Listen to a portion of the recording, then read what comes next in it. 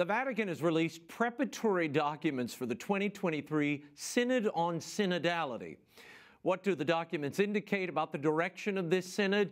And Pope Francis's comments to a Spanish interviewer are raising eyebrows. With me to discuss is associate editor of The Spectator UK and host of the Holy Smoke podcast, Damian Thompson who joins me from London. Damian, thank you for joining us. I want to begin with this Synod preparatory document and the handbook released by the Vatican this week. It is to be reviewed by all Catholic dioceses. The document begins by quoting Pope Francis, stating, it is precisely this path of synodality which God expects of the church of the third millennium. This journey, which follows in the wake of the church's renewal proposed by the Second Vatican Council, is both a gift and a task. Now, Damian, the document then goes on to say the Holy Spirit will guide the synod and the participants should be, quote, remaining open to the surprises that the Spirit will certainly prepare for us along the way. What do you take all of this to mean? And why do we need a synod on synodality? It's like having a meeting on meetings. And then there's going to be a synod on the synod on synodality and so on. um, you don't need this at all. I cut my teeth as a reporter covering the Church of England as it went down the synodal path, and it was an absolute disaster. Synods are a talking mm. shop, they're a way of entrenching the power of bureaucrats and bureaucrat bishops. And they're a way of dismantling historic teachings, as we saw as, as the Church of England went down the synodal path. This is a complete waste of time and money from a church which yeah. has urgent priorities.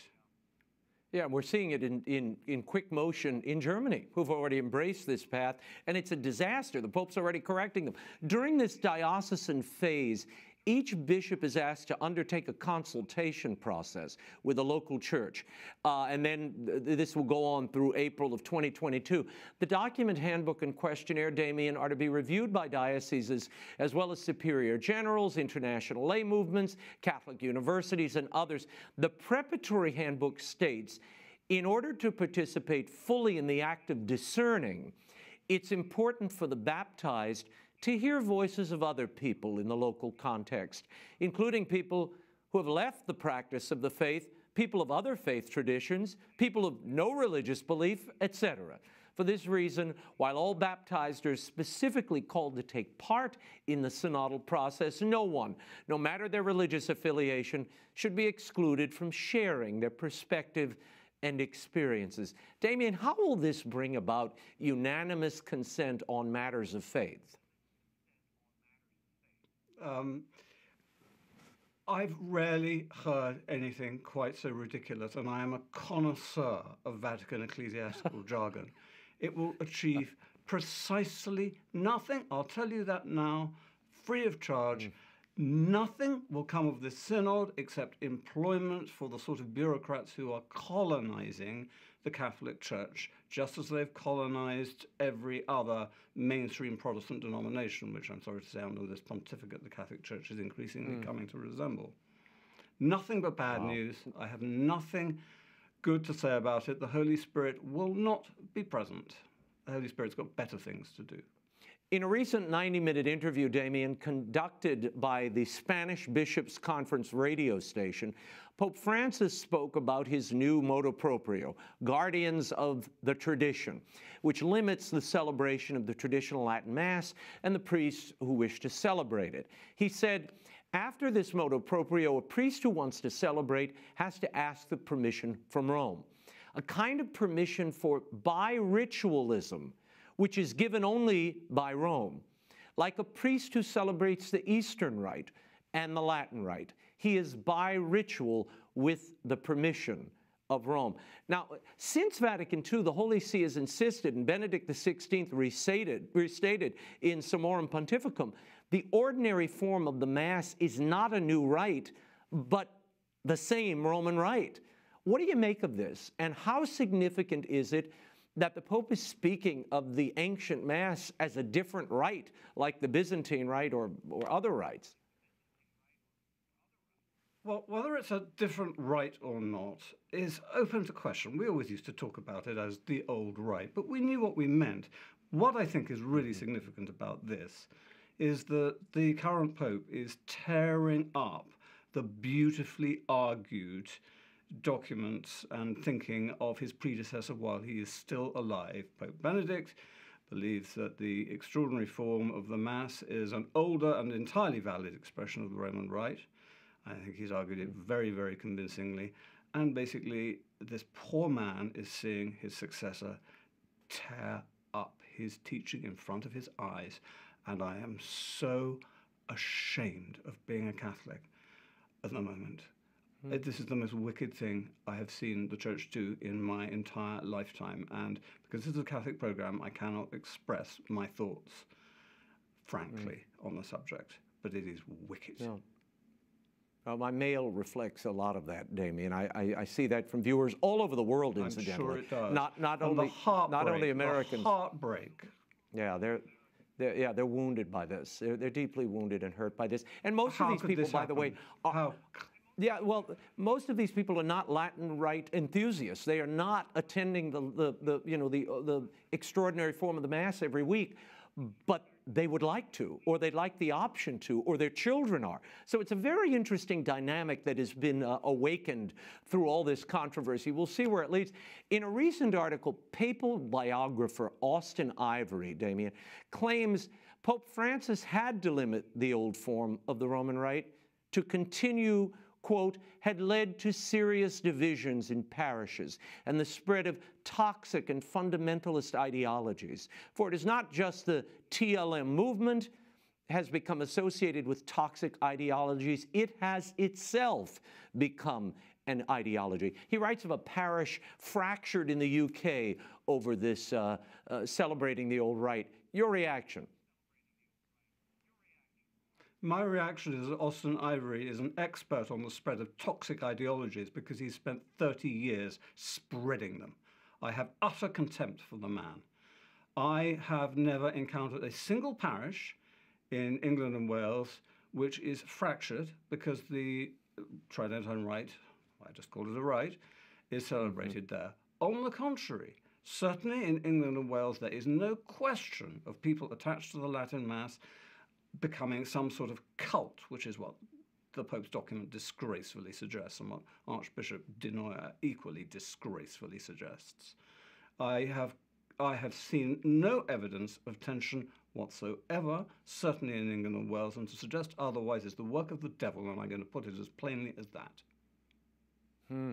Uh, Ivereigh claims that Francis acted on testimony from bishops around the world, but there was at least a couple of reports I saw that only about 30% of the world's bishops even responded to that questionnaire on the traditional Latin Mass, and more than half Absolutely. of those who responded had a favorable or neutral response.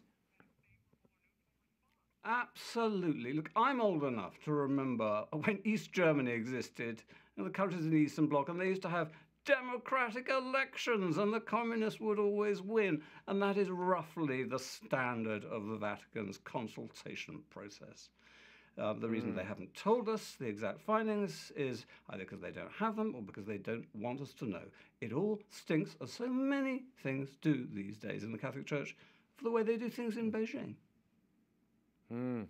Uh, Pope Francis and the Archbishop of Canterbury, Justin Welby, as well as uh, the Ecumenical Patriarch Bartholomew, released a joint statement warning against climate change ahead of the November COP26 climate summit.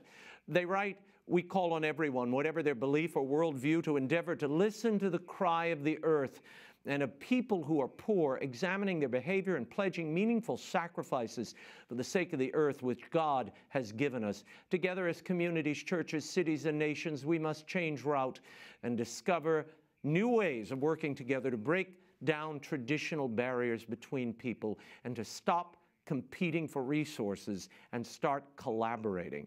Your reaction on this statement, particularly coming out at this Are you moment. Sure, you're not reading me a par- are you sure you're not reading the parody, Raymond?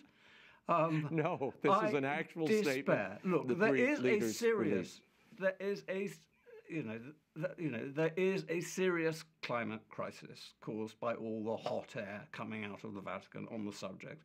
Nobody cares what they think. The only actor that really matters is Communist China, and the Pope is no more likely to. Mm. Challenge China about its polluting policies and is to mm. challenge mm. them about its genocidal behavior uh, towards the Uyghurs. Um, I pay zero attention to this, and nobody who actually matters in these affairs really cares what the Pope or the Archbishop or the Patriarch thinks. It's it's mm. platitudinous window dressing. It's a distraction for the actual job of spreading the gospel. Well, that, that, that you mentioned China there. That's a great segue to this final point I want to uh, pose to you. A new Catholic bishop has been consecrated in the city of Wuhan, of all places. Uh, the Vatican is reporting this is the sixth bishop to be consecrated in China since the signing of that Vatican China deal. Asia News reports that Father Francis Cui Qingqi, who was the only candidate put forward by the Chinese government, uh, has a long history as a government agent in the Patriotic Association. Why would the Vatican accept this nomination and allow him to be consecrated, Damian? Nobody knows, Raymond, and I think you're probably aware of this. Nobody really knows why the Vatican entered into, and I'm using this word a lot this evening, this diabolical deal with Beijing. But what we mm. do hmm. know, because our good friend Father Ben Kiely, who follows these things very closely, is that it's perfectly fine for, in fact, it's compulsory for Chinese Catholics to attend masses in which hymns are sung to the semi divine figure of the President of China. But it's not mm-hmm. okay for them to attend the ancient Mass of the Western Church. I despair. Yeah, no, it's a, it's a, it's a sad moment. And when you, when you learn of the tracking of uh, the underground church, uh, using cameras, facial ID, all sorts of things to identify where these people are and round them up, it's frightening what's happening. And the fact that the world and the Vatican, no less, are silent on this is even worse. Before I let you go, last week, Anglican Bishop, the Right Reverend Jonathan Goodall, announced that he's stepping down to enter into full communion with the Catholic Church. Goodall is second bishop of Ebbsfleet to seek full communion with the church. In 2010, Andrew Burnham uh, stepped down as well 10 years ago from his post. What do you make of his decision, and what's been the reaction in England? Um, John Goodall has a has a reputation as a as a very wise pastor. Um, it just proves that this whole sort of Monty Python ecclesiology of flying bishops it, really needs to be put out to grace, frankly. Uh, there are very few Anglo Catholics left who don't accept women priests. The whole thing is a complete nonsense. Um, the Church of England is gradually turning into a more and more Protestant church with Roman trappings. It's obsessed with the far left.